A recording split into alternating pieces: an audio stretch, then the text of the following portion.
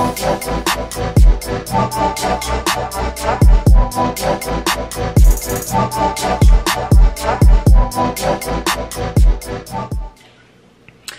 you guys, let me get my lights together. I know y'all thinking, why don't, why don't she have this together before she starts filming? Because I just didn't, okay? So I'm put on a little bit more lipstick. I'm wearing this matte glam by Milani, and that's all the makeup she gonna do today. that's about it. Uh, I look shiny as hell, but my skin is clearing up. Get some tea. The weather has changed here. It is cooler, and um, I'm gonna tell you what, Phoenix people are weird as hell. I mean, once it drops under 80 degrees, they bring out, girl, they, they have on scarves, mittens, gloves. I'm like, it's just 79. What are you doing, sis? So right now, it actually is cool. It's 65 of a high of 65, but that's still not cold to me. But these people like, they wouldn't look. When I dropped off jp today at school, they wouldn't allow the kids to play outside because it's too cold. So they have all the kids in the gym and it was probably 59 i appreciate that to keep the babies in the warm and it was certain age group excuse me fourth grade and under. That's okay but i'm like this is the perfect weather for kids to be outside but whatever. All right y'all let me cut to the chase. Today i will be retwisting my hair because i just got finished reviewing the Lottabody. We like the body. The Lottabody products. And so i'm going to be retwisting my hair using kinky tresses. If you're interested in these products i do have a review on them. One of the best products i have used to date for twist out i'm not even saying that just to be this is bomb.com especially. This coconut mango hair butter. Absolutely love this. Very thick and i've been using this off and on since i purchased the um the products. Um yeah this is a lot of body and i knew she wouldn't hold up because i it's not necessarily that i did this on blown out hair. Um, I didn't use enough products. But that's okay. I was, I got the look I was aiming for, and that's all that matters, right? So, but yes, look at that girl. All that body. That's a cute hairstyle. I'm serving you 80s pop. That's cute, huh? So, but we can't go around like that because she will throw out. Um, it's really useless to do a part on on my hair because you can't even see when I part my hair because you can't even see my scalp. So I'm just gonna go ahead and section off my hair. Yeah I have a couple of things I, I want to talk about but you know how it is girl. I start talking and we go down that rabbit hole and I absolutely love this time of the year. I love fall. I love Hallmark and Lifetime movies Christmas. Y'all know how I was last year. Um, I was fit to be tied, girl, because they were playing Christmas movies because it was Christmas in July on Hallmark. And you know, I just love this feelingness of family, togetherness, and I just love it. Now, I'm not here for all the pumpkin spice. Have y'all been seeing all this foolery? Saw it starting a month ago. Pumpkin spice, pumpkin spice cereal. I don't even like pumpkin spice lattes. I used to be on that kick a couple of years ago, but I don't even drink coffee from Starbucks anymore. Um, I'll have their tea now. Now I used to be, a, and you know, definitely would drink their coffee, but it's too overpriced. I can get four cups for the price of one there at home. So y'all, let me hush up and put my hair up, section it off. Hell, it's cute just like this.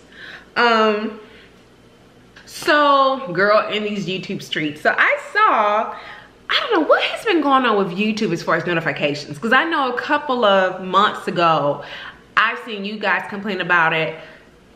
Well, let me, let me back up. Last year, YouTube unsubscribed me from, from some people. Unless I had a moment where I was upset and just started unsubscribing from a lot of people. But no, YouTube unsubbed me from a couple of people. Not a lot, like four or five. Then I stopped getting notifications or I stopped seeing people's videos. And I don't know if, if I don't know how, you know, everything works on YouTube. Even as a content creator, I don't know. I don't attend those meetings. I don't be reading any of the blogs or anything like that. I guess my point is I was not seeing videos of people whom I was subscribed to it could be two or three, four videos they have posted and I don't see those videos. And those videos are getting traffic. So I'm wondering why I don't have these on my playlist. I feel like I should be able to see, you know, if someone posts a new video, even if I don't have the notification. So at this point, I go ahead and click that notification bell if I definitely want to see someone's videos because it's not guaranteed. You know what I mean? So, Border Hammer is back. I had no idea. And I'm so upset because I'm a huge fan of hers. I started watching her back when I was wearing wigs because uh, she would do wig reviews. Those you don't know, it's her name is Border Hammer and she's mostly known for her wig reviews but she's she's very random um, she talks about personal life her family life um, uh, wig reviews makeup she has great impeccable fashion sense woman she's in her mid 40s she has um, older children which i appreciate but yeah i missed two of her videos and she's back and she's been posting and that video is a month was a month ago and i just I just got it as a suggestion after watching someone else's video. I'm like, but this video is a month old. Why am I just not seeing this in my suggestion feed? So anyway, um, and this was last night, so I didn't get a chance to go back and watch her video. But I definitely, I like her, I really do. Now, she did. I know I'm gonna come with a little bit of, not drama, but I'm just gonna keep it real. She did have one video that got a lot of, not a lot, some backlash. Now, let me know if y'all remember this and I may get things a little confused because it's been a while. But basically, overall, the video, I believe it was an advice video and I think it was either one of her subscribers or someone she knows was looking for advice on how to approach a situation. The young lady believes she was either dating someone or she knows someone who had contracted an STD. And this is the thing that tripped me out about Border Hammer is that she was so surprised that people still have unprotected sex. Cause she was like, people still doing that in, in this in 2000, it was like 2002. People still doing this in 2015. We're like, uh, yeah, that's why we got babies and people getting STDs. Cause yes, people still have unprotected sex with multiple people still. Yes, girl. So she was just still shocked about that. Um, but overall, let me get to the point. Basically, this person was saying whether or not asking in the letter whether or not she should let another woman know that that her boyfriend or someone she's dating has an STD. And I want to say, was it AIDS, you guys? Was it AIDS? And so, and let me know in the comments, those y'all who remember that video, let me know. And so she wrote back, or Border Hammer basically said she doesn't think she should tell the girl anything oh baby the backlash that she got on that video. Oh they served it to her. They they handed rochelle because i think her name is rochelle? Is her name rochelle? They handed her everything let her know that that, that was horrible advice. Um she should let the girl know because i think she knows the girl okay? The person that's dating this guy that has aids or hiv i can't remember what it was. Um and I want to say that she posted another video apologizing and she since took down both of those videos. But yeah, y'all, I don't know about that. I didn't say anything. I was just looking back, looking at her getting dragged. I'm like, oh my gosh. I wouldn't say they necessarily dragged her. People were very, um, very PC about it, you know, their approach, because she's like that too. She never comes off as being very demeaning or anything like that. Um, but yeah, no, you, if I knew someone, if I had a friend and I knew that she was dating someone who legit had, oh yeah, I'm letting her know. Absolutely. You could be potentially, you could be potentially saving her life and other people's lives. So anyway, overall, I'm glad that she's back and I do appreciate her videos and her knowledge that she has. What else, what else, what else? Girl, I'm already laughing. Let me stop y'all. I am silly. This is why I laugh a lot in my videos because I'm silly as hell. Um, I know I'm late talking about this, but y'all, Benny, Benny Harlem. Y'all, this has been going on for quite a while apparently. And those of you who don't know, Benny Harlem is this um, younger gentleman, African-American gentleman who has long, beautiful hair, supposedly, right? And I used to see some of his pictures come up on Instagram because of course they're showed, they're shared all over Instagram and all this. And I think he has made the Guinness Book of World Records for the highest style. Keyword, highest style. Now my girl Aevin Douglas has made it for the largest afro. Y'all know Aevin, I love her. Um, she's all over on Instagram and stuff like that. But Benny. So Benny has decided that he's gonna take advantage of all you helpers looking for waist length long hair and at any cost possible. So Benny decided that he's gonna package up and make his own hair products and call it, what did he call it y'all? These veggie, green veggie hair kits. All I see are cucumbers and grapes and applesauce or some shit. So let me read you, this was way back in August. So yeah, it's been a while. Let me read you this this post he did August. August 28th is when it's dated. And apparently he's going all the way to the motherland to gather ingredients to make y'all kits. So let me read it for y'all. I was bitten by a viper snake while in Ethiopia farming and acquiring ingredients for the green veggie hair kits. There was no anti-venom medication available at the facility I was transported to and I was told the bite, the bite was non-venomous. I was shocked to find out I was very close to not making it when I returned to the US a few days ago. Deadly venom was actually very present in my system. I was in the middle of an interview with Photoshop, blah, blah, blah. So sis, you going all the way to Ethiopia in the farmland. You got uh, bit by a viper to gather these ingredients. Y'all, this is the irony of all of this. You have to see what he said. He was bit by a viper while looking for ingredients to make y'all's foolery kits. He's, he's literally selling you snake oil, right? And I have mentioned this in quite a few of my videos. There is not one product that is going to make your hair miraculous, miraculously grow. Now, yes, there may be some growth pills or there may be some type of hair oil. But one thing that a lot of those um, those products have are nutrients. So if your butt was eaten correctly, eaten properly, your hair, nails, skin would flourish. You ever notice that vegetarians, the ones that do it good, vegetarians and vegans have beautiful skin, beautiful hair because it shows up they're getting the, the right amount of nutrients for their body, y'all. So, oh, it gets even better, baby. You know how much he's selling these kits for? Or he was selling them for? $399. 300 and how much is that Onyx box a month?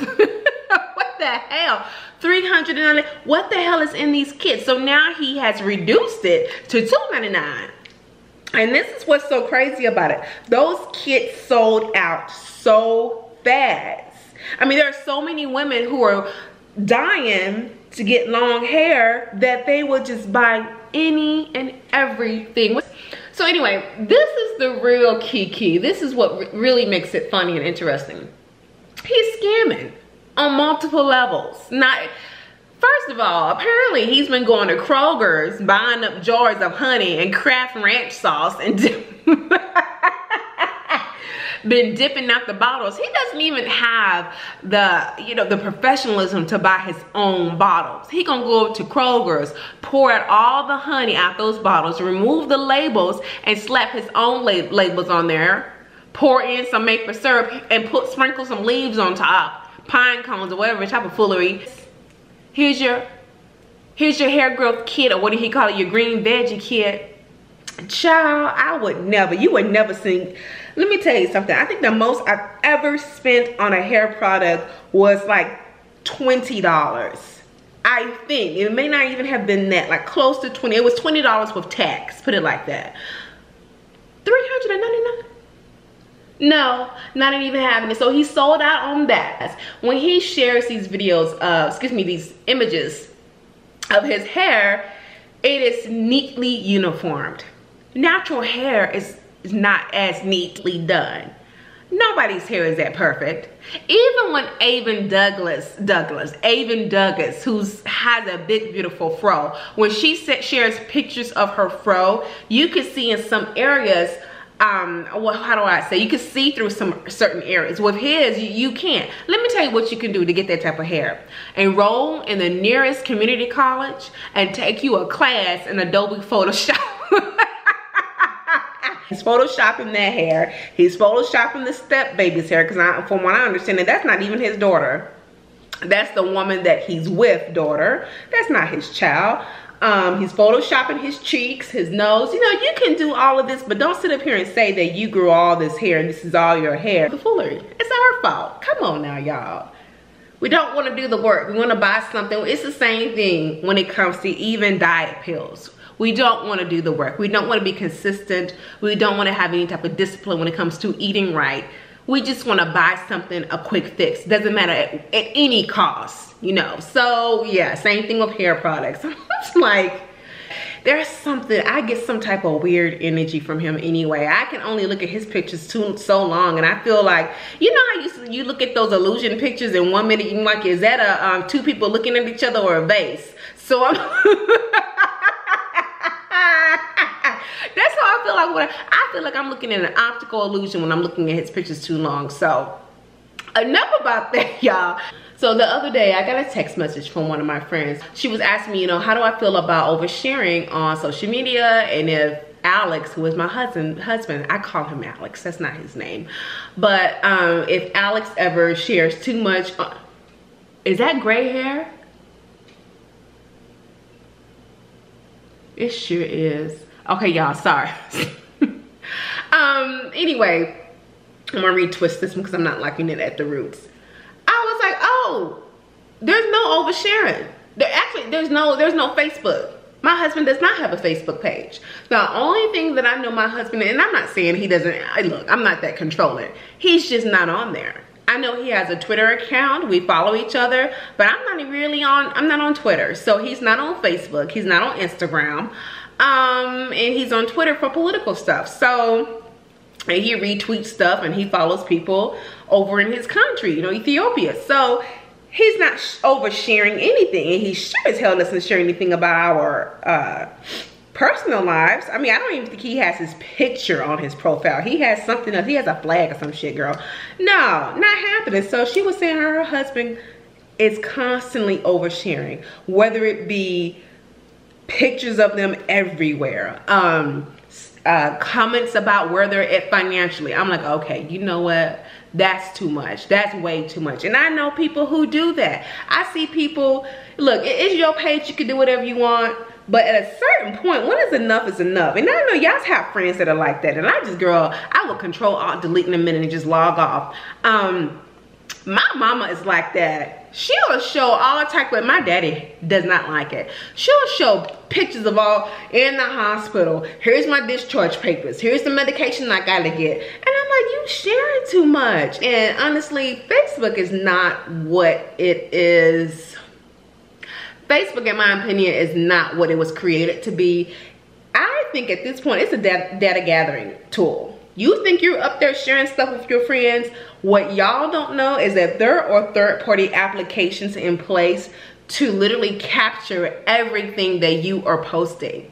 And I know this because I used to work for a company that was doing it. Um, and that's all I'm gonna say about that. but I would be very careful, especially if you're talking about anything political. Um, I would be very careful what I say on social media. And that's not being, you know, your tinfoil hat. You don't have to do all that, but just be mindful of what you put on social media. And plus, a lot of people live for that. You know, a lot of your so-called friends are just waiting for the drama to explode and on the page. There's just some people who are like that. So yeah, no. Be careful and be mindful about that. Yeah, I don't share anything. My husband even thinks that I share too much on my YouTube channel. Y'all, he was fit to be tied when I told y'all that he hit my car.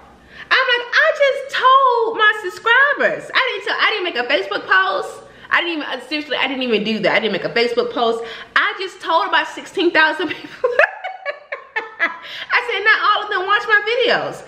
That video had like 500 clicks. And some of y'all probably watched it several times. So, or maybe, you know, twice, not several times. So I'm like, girl, girl, he was, yeah, he was like, nah, you don't need to, because I also told my mama and my best friend and my sister. So, but I guess my point is that I wasn't oversharing. I wasn't making a post about it on social media. I don't do that when it comes to anything like that. And one thing that I really think people need to do, and I don't know, there's someone I know, and she's another YouTuber, and she's also on my Facebook. Um, she's on my friends list, and I would not. If I'm getting into a new relationship with someone, don't put that person on social media at all. Wait, I, I would say wait for about seven or eight months. Is that straight, y'all? No, but who cares?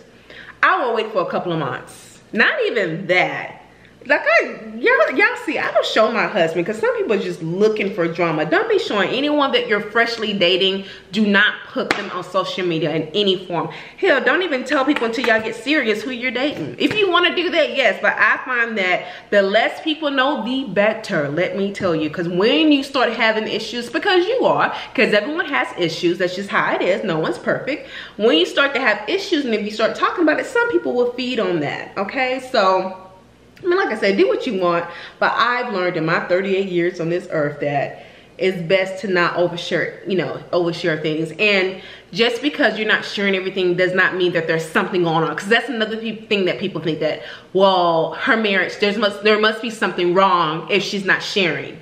No, there's not. It's actually pretty good, girl. Yeah, it's good over here. So, um, I need to hair it with my hair and um, these are gonna be long. Now I'm not, look how shiny it is right now. Look at that. Very, very, what the hell is this? Oh. Uh, all right, you guys, so that is it for this chit chat. I'm gonna go ahead and hurry up with my hair. And that's it, y'all. Leave a comment, like, subscribe if you're new. I will see y'all next week. Bye.